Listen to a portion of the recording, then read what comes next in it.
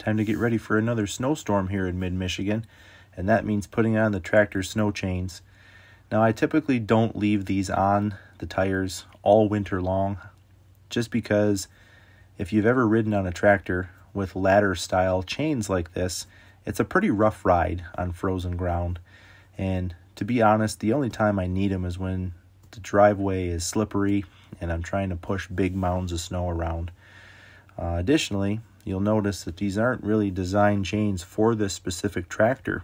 They came off an old Ford 8N that I've modified the length of them to use on my Kubota. Uh, if you've never used tractor chains before or chains on any vehicle, they make a huge difference in your traction, and I probably wouldn't be able to do this job without them.